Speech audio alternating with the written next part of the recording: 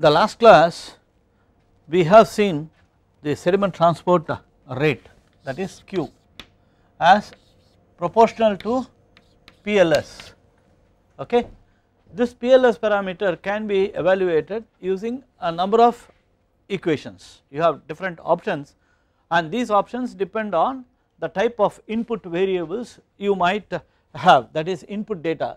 Uh, I will just recall I will so probably you would be able to remember all these equations.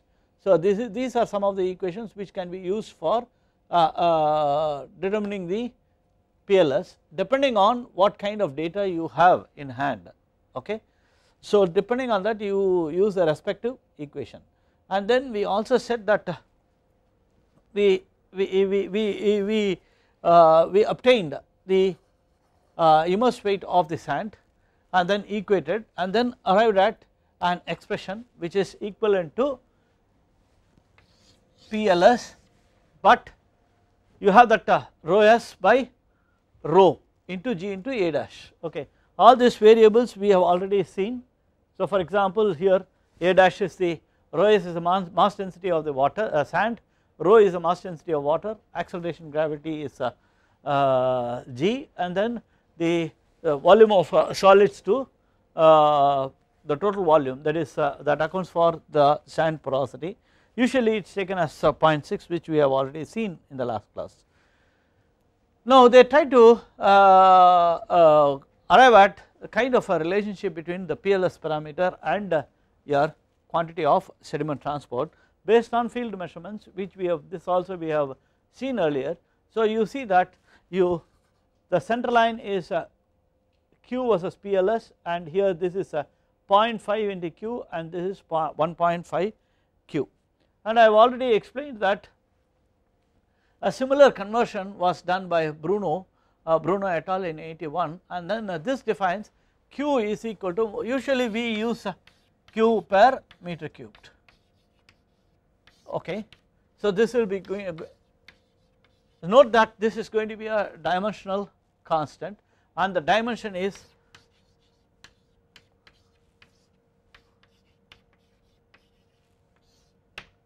okay and uh, into PLS.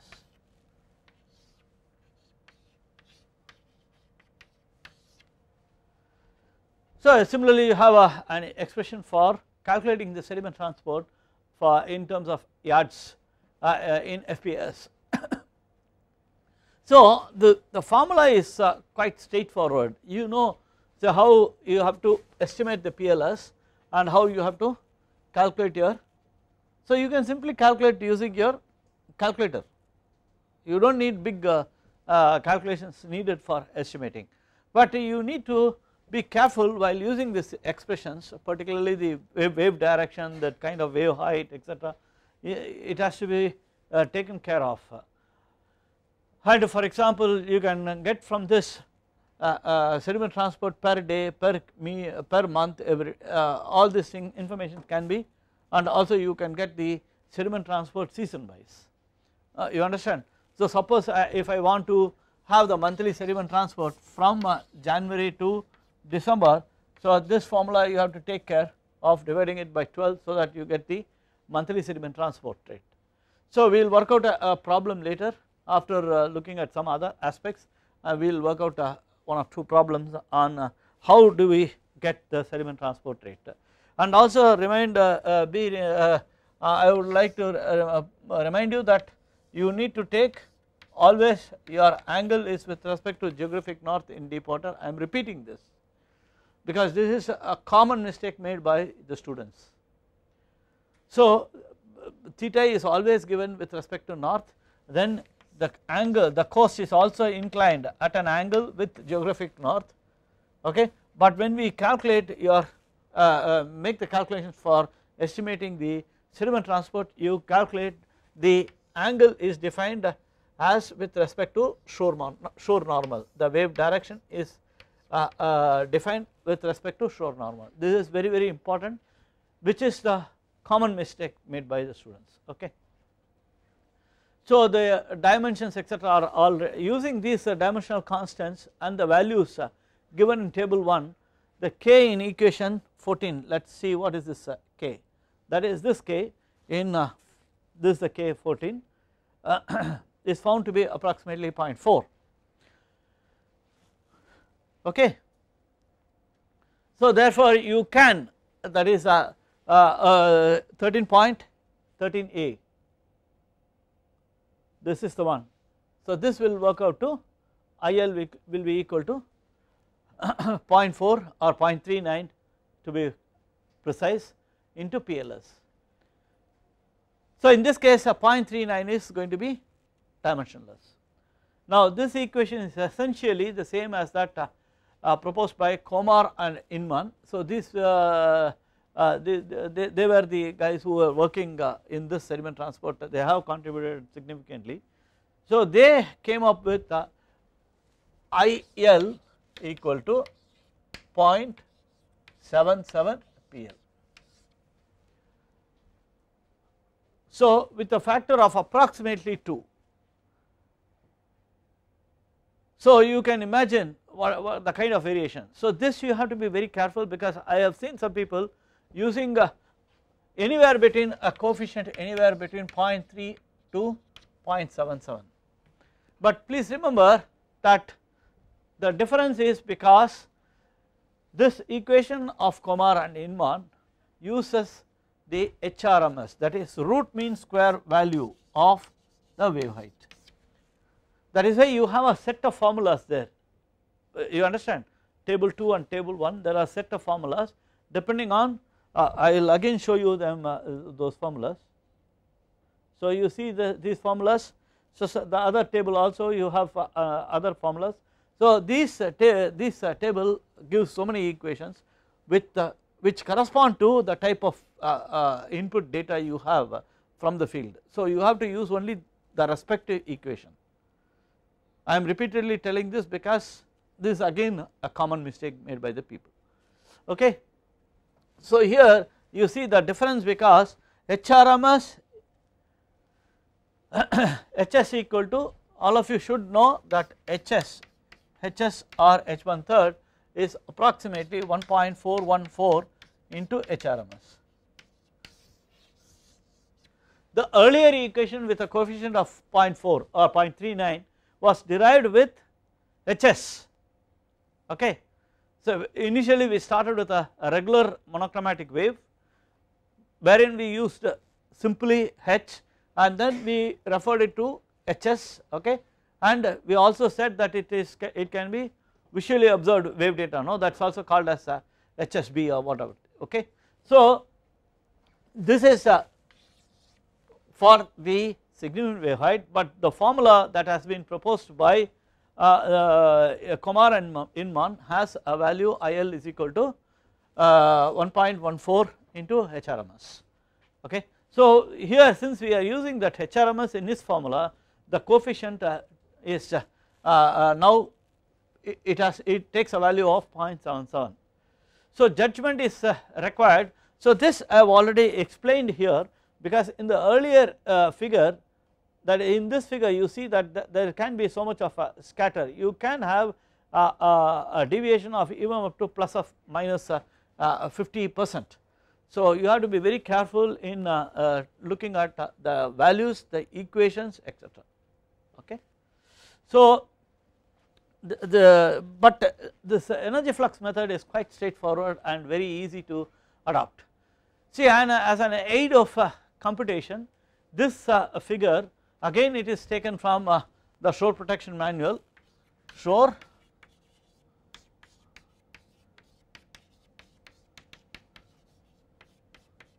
this was uh, called as shore protection uh, earlier now it is uh, renamed as coastal engineering manual. How many of you have uh, downloaded this manual coastal engineering manual? How many? Only one?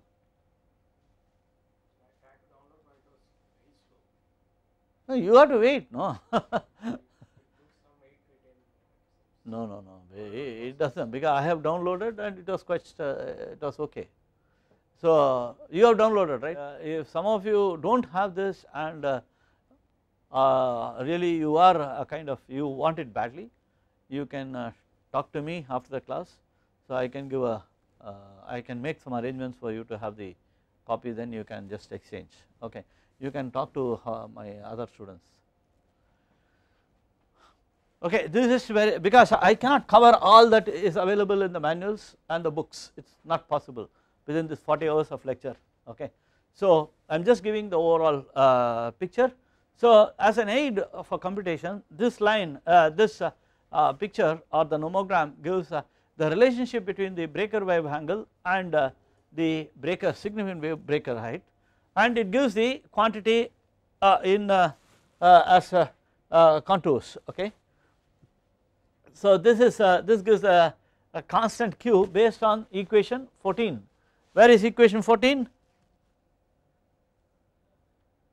this is equation 14 okay which is readily available there on the as a, a legend. So using this and equation 6 8 and 9 of the PLS in table 2. So if you use that equation and then uh, uh, use this nomogram you are going to if you use those equations you will get the nomogram as indicated here which will straight away give you the quantity of sediment transport per year is that clear. So what you need is the breaker angle and you know how to calculate the breaker angle? Yes or no? Breaker angle how, how do you calculate the breaker angle?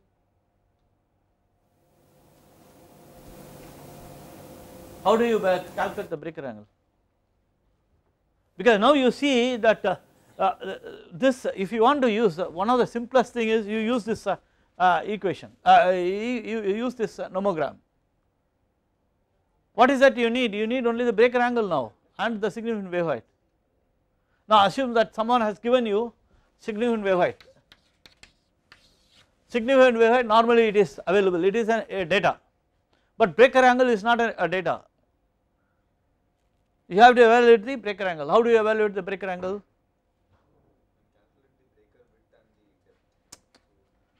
Yeah okay. You calculate the breaker the depth the breaker depth breaker depth you calculate then? And the distance where it breaks from why do you need the distance? No, the distance. So you take from where we accept that cos theta onward cos theta 2 is equal to what is that? Cos theta? Cos theta 1. cos theta or sin theta?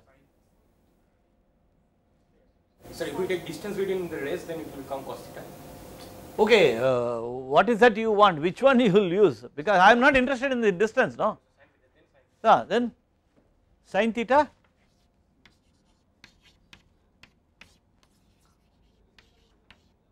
ah then.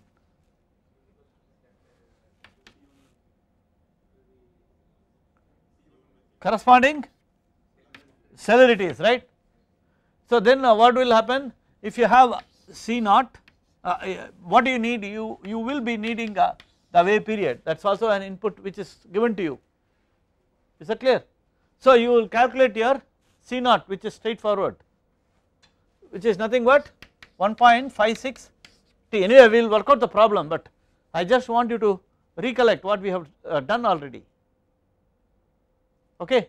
So my uh, we know one celerity and uh, you want to have at the breaker depth is that clear. So now as he says you there are some formulas to calculate the breaker depth. Once I know the breaker depth can I get the breaker celerity okay. So I, I know this one. I know breaker celerity. The theta naught deep water direction is known to you which is going to be a input for you because now add this this also has to be the input. Then use this relationship. Now you have uh, this one this one is there this one is there and maybe theta 1 is the one you might uh, need. Okay. So all the other variables are known to you so you can calculate the breaker angle once you uh, know the breaker angle go into this figure and calculate your transport. Is it not uh, quite easy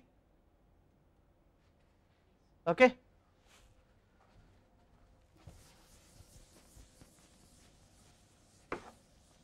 but very often you need to use a lot of your judgment in dealing with problems related to uh, sediment transport that is one important thing which you have which you, which you should have in mind.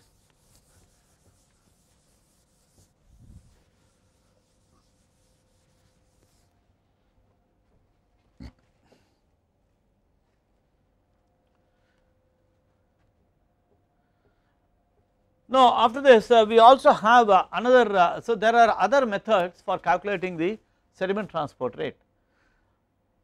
So what I have shown now is for a given wave conditions maybe significant wave height or HRMS or just H you can calculate the corresponding equations and calculate your sediment transport rate. Is that clear? For every day you can calculate suppose every day wave characteristics you have you can calculate the sediment transport every day is that clear. Suppose if you have uh, uh, what do you have? The other method is the you have uh, waves coming from different directions. So for example this is uh, uh, north south and assume that uh, our coast is here. Okay. So waves are coming in this direction, waves are coming in this direction, this direction, this direction, this direction. So all all all wave direction, all uh, wave directions are possible, and each direction will have its own percentage of occurrence. Okay. So considering the percentage of occurrence and how you sh uh, share the energy uh, between uh, two segments for example this is the wave uh, direction and this will be split into some amount of energy can be uh, propagating within a particular sector. For example you uh, you have a, a wave sector. Say for example this is 45 degrees. Waves are approaching. So I can divide this into two sectors. You understood? So the characteristics the wave characteristics which is passing from this can be considered to be straight. But any other angle I will say that some amount of 50 percent of this is uh, transferred within this sector and 50 percent is transferred within this sector.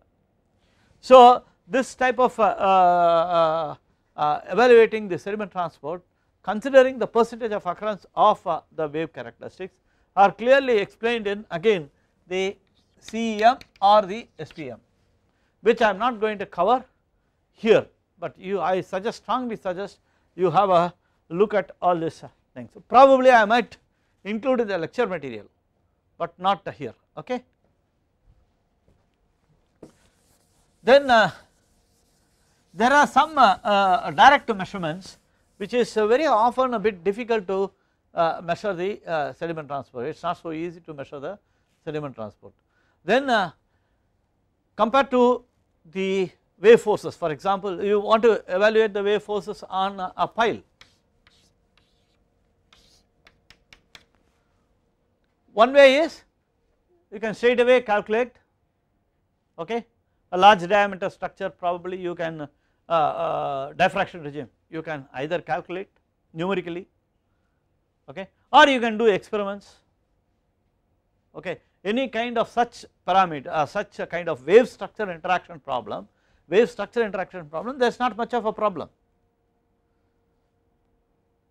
because we use a particular scale model and then model the whole thing and get the results and report it in a dimensionless form. Look at my lectures on wave mechanics. But in the case of sediment transport it is uh, rather why we say it is quite complicated not because of the calculation. Calculation of sediment transport as you have seen it is quite straightforward, but assigning the values for the parameters which are involved that is a bit some, sometimes it is a bit uh, complicated or uh, questionable. And more so is uh, when you want to simulate a kind of a field problem concerning sediment transport in the lab it becomes very difficult. I would not say impossible but uh, using a, a any kind of a scale it is very difficult but for the simple reason uh, if you have a, a rigid bed this is also very important when, when you want to uh, simulate a rigid bed it is okay. What do you mean by rigid bed? How does your flumes look like? What about the bed? Are you simulating the sand? We do not simulate the sand bed. And what is the uh, uh, basic assumption in the small amplitude wave theory? The bed is horizontal impermeable. So we have so much of uh, uh, uh, it is so comf convenient comfortable for us to use that uh, uh, uh, assumption. But can you use that same kind of an assumption in a, problem related to sediment transport? It is not possible because the main governing thing is the type of sand that needs to be modeled. How do you model? If you model a, a scale, uh, if you model a structure, you have to model the scale down the wave height, wave period, wave uh, uh, water depth and also the grain size. You understood? So that is why it is very difficult to model the, so we, we call that if you want to model also this then we call it as mobile bed modeling, the bed is also mobile. So mobile bed modeling although people have done some uh, results, so you can uh, search for mobile bed modeling under coastal engineering. Probably you will get some information in the Google. Okay.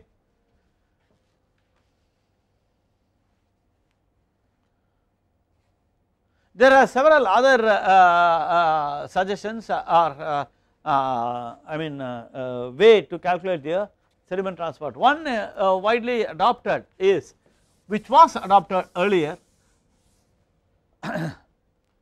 this is apart from uh, the satellite imageries etc you know. So you can use GIS satellite imageries all those things have come into uh, uh, come in a, big way uh, in order to assess the variations in the shorelines etc. Now shoreline positions or oscillations of shoreline this is a littoral environmental observation this is very popular because this is quite straightforward which is uh, used for getting uh, some information about the PLS parameter uh, as well as once you get the PLS parameter you can straight away calculate your sediment transport quite straightforward. So the formula is like this the equation giving the Longshore energy flux factor with Leo data variables I will come back to that Leo variable data later. So here we see the uh, uh, equation wherein you have uh, all this uh, this is HSB you know W WB uh, W V V Leo sorry and then CF and uh, V divided by V naught into LH uh, suffix LH. So all these variables are defined here V is the surf zone surf width and this this is given as this parameter this this ratio is given by this. This is uh, the surf width and then x I will come back to x later. Because x is uh, based on the methodology. And we will work out a problem using this uh, method. So okay here the uh, V Leo is nothing but the average longshore current velocity due to breaking waves. Longshore current is what? Longshore current is it has been proved that they are wave induced currents and these wave induced currents are due to the waves breaking I have told you number of times. CF is the friction factor which is assumed to be 0.01 and then X is you from the shoreline see from the shoreline you dispatch some uh, amount of dye patch. So this is going to be your X whereas W is nothing but the width of the surf zone. If you want you can maintain X constant but surf width can vary from month to month or it may also be constant for maybe 2 months or 3 months depends on location to location uh, season wise all those things okay. Now this uh, V by V V LH that is uh, given by Longuet-Higgins this equation is given by longi Longuet-Higgins.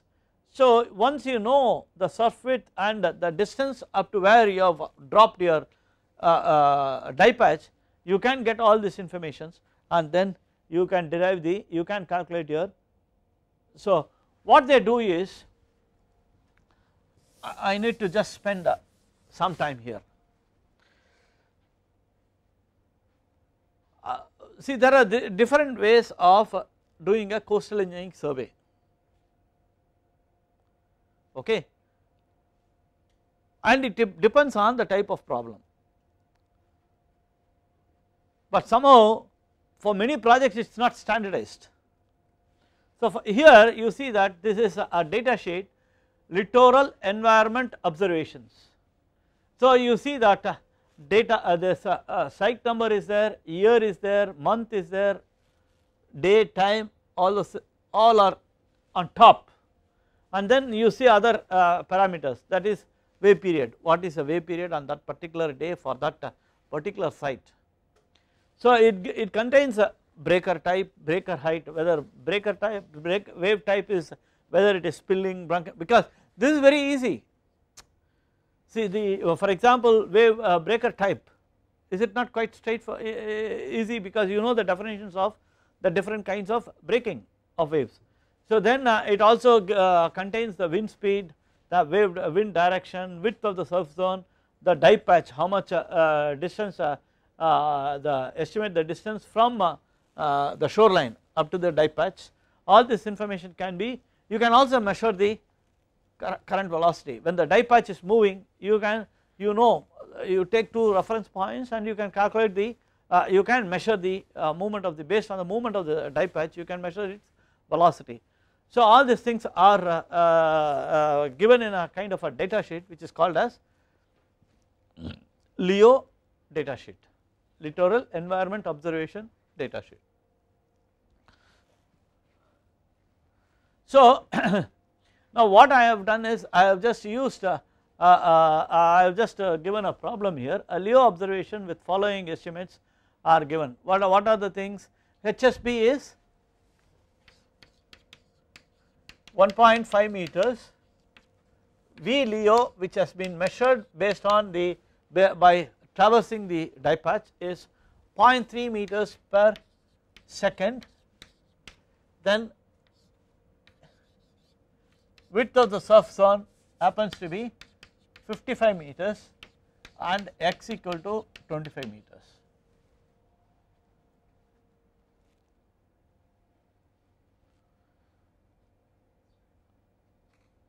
So you from this you can easily calculate your V by VLH, uh, V, uh, this is LH stands for Longuet-Higgins.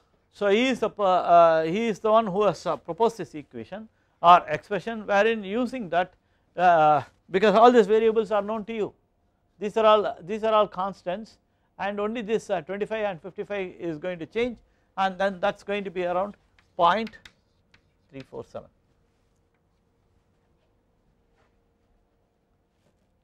is that clear? And now then uh, you use the equation. What what is the equation? This is PLS equal to rho g HSB B Leo into C of divided by 5 by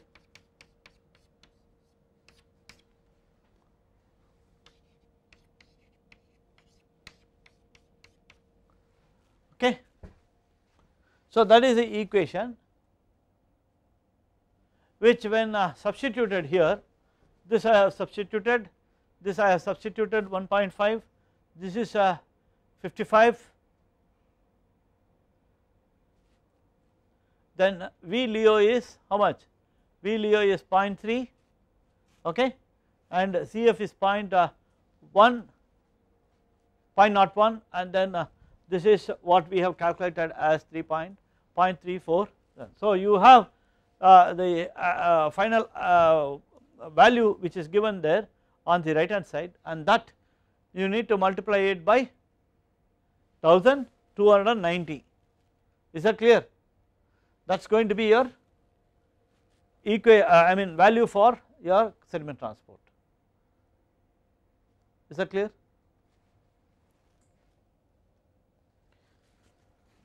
So the value of PLS corresponding to a sediment transport of uh, this much is uh, uh, given there then annual sediment transport rates for any field site would be estimated from LEO with a PLS obtained from by averaging the PLS values computed for each observation by the above method. So for each observation you can calculate all these things and put everything together and give come out with the final rate. So and also with this expression you can get this daily sediment transport, monthly sediment transport all those uh, uh, uh, parameters you can easily obtain. Any doubts? No doubts? So now empirical prediction of gross transport rate. what is this gross transport rate irrespective of the direction? So Longshore sediment transport rate depends partly on breaker height since breaker height increases more energy is delivered to the uh, surf zone because surf zone is the area zone of active sediment transport. At the same time as breaker height increases breaker position moves offshore. So when the breaker height increases it moves offshore so that uh, the, uh, the uh, area over which the sediment can move that is basically the surface will widen okay. So that is what happens along the east coast along the east coast during the months of uh, June to August your breaker height will increase and uh, once it increases the surf width surf width increases it goes up to about even 200 meters okay. During other uh, other months of the year it can be around uh, 75 meters or maybe even 50 meters as low as 25 meters also. So if it is really a very calm area uh, calm zone it will be only just 25 meters. So along the east coast it can go even up to about 300 meters. Is that clear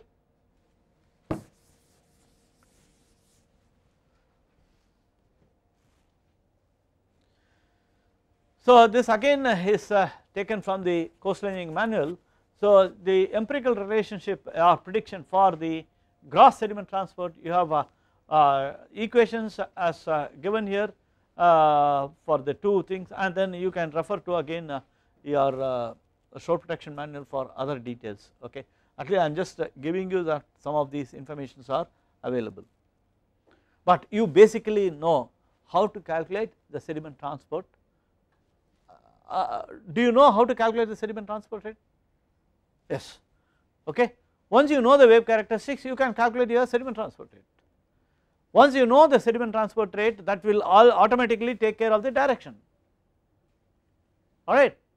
So if you include the direction you are going to get the net sediment transport if you do not uh, uh, if you consider only the absolute values that is going to give you the gross sediment transport. So this is only an additional uh, provision of uh, information for you, but we will use only the equations or uh, the methodology that is usual normally used for calculation of the sediment transport and then come arrive at the net and the gross sediment transport rate. So here the problem we are considering a a problem here wherein uh, you have a, uh, uh, January to December the mean wave height okay the wave period and alpha naught. Assume that this information is given to you. And you also have positive and negative okay. So now I calculate the formula, the uh, calculate the uh, uh, sediment transport rate. Now this is negative and this is positive. Okay. So PLS parameter is given. Now I have HB is equal to this because what, what are the data available to you? The data available to you are H naught and H naught and L naught okay. So then I can use the first expression there are so many other expressions suppose the beach slope is also given so you use the corresponding expression for uh, uh, getting the breaker wave height. We have seen several formulas for getting the breaking wave characteristics under wave deformation lecture material.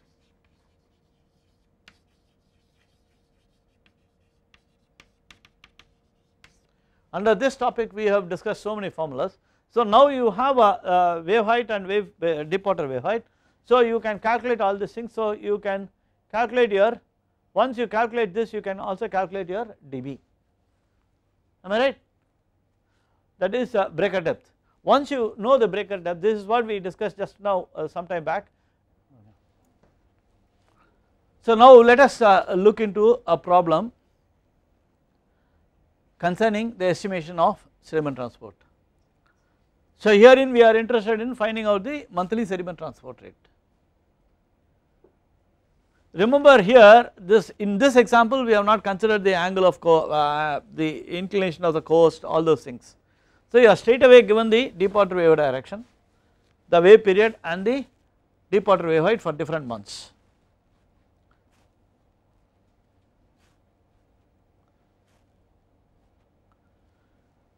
So the formula available for you is your PLS parameter which is given here.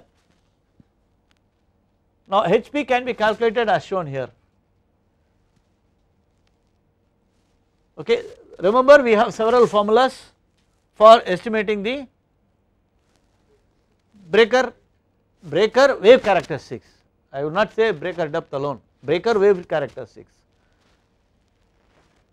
and uh, uh, for which uh, you need to also look at the my lecture material on wave deformation. So once you know the breaker height you can calculate your breaker depth. Why breaker depth is needed? Breaker depth is needed to calculate the breaking celerity. Why breaking celerity is needed?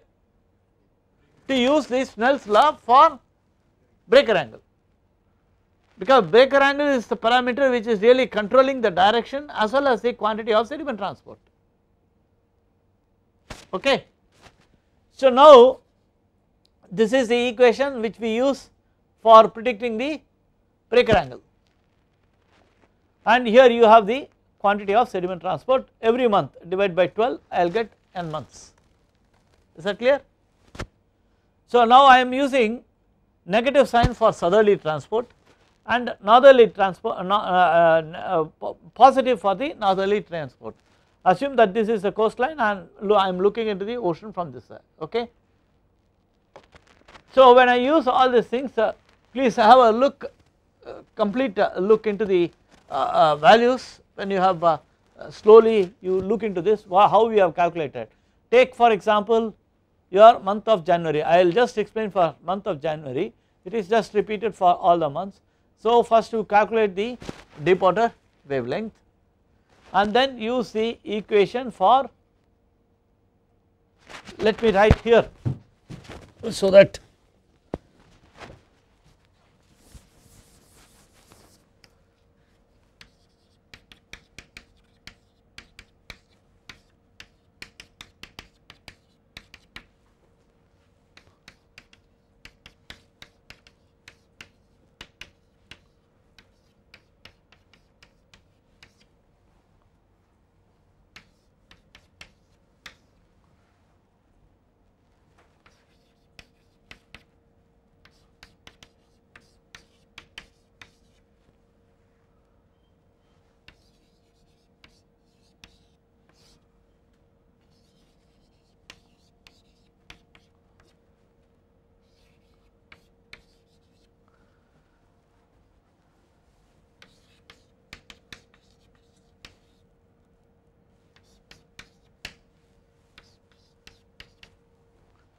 this is what is uh, given. Now we will just check for the month of uh, January. So L naught is calculated. Look at the board where I have written all the formulas. Then uh, you have HB using the second formula because here wave height is known to you.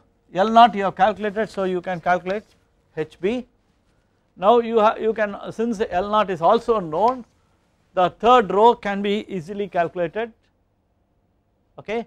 And once you calculate uh, dB dB by L naught you can calculate dB by LB using the wave tables which we have already done okay? Then uh, once that is known once this is uh, uh, one then uh, LB can, can be calculated. Once N LB is calculated so once this is known you can calculate this because dB is already known to you. dB are already known to you. So once you have uh, picked from the table the corresponding to dB by L naught I will repeat dB is calculated then dB by L naught is calculated. And once this is calculated go to the tables arrive at the LB once LB is calculated calculate your CB which is nothing but LB by dB so this is known this is known. So this can be found. So huh? LB by T sorry. So C naught is known to you. CB is known to you. L naught is also known to you. The uh, alpha naught is already known to you. It is uh, an input. So you can calculate sin alpha b. So calculate your alpha b that which is nothing but the uh, uh, uh I mean the breaker angle then sin alpha 2b is needed and then finally arrive at the value for q. So for each uh, month you can calculate uh, what is what are all these parameters and then you can also try to look at the variation of all these parameters month wise. Every month how the breaker angle looks how the breaker height looks like all this information can be obtained from this. Then then uh, you simply add all these things irrespective of the directions you get the longshore sediment transport gross longshore sediment transport. And we have already seen why we need that. And then the net sediment transport by taking into account uh, the directions. So this is what I have said. Then uh, you uh, th this is the monthwise uh, sediment transport this is uh, irrespective of the direction this is a pictorial representation. Or you can also represent uh, in terms of net. That is every, every month with respect to with directions positive and negative. So your line will be 0 and then it will be oscillating either positive or negative. Is that clear. So the results are as shown here. These are the results. And this is the gross sediment transport and this is the net sediment transport negative show, uh, uh, sign shows that the net sediment transport is towards the southward. This is only a demonstration. How you go about in calculating calculating the sediment transport? Is that clear all of you? So I think uh, I think I will close with, with this.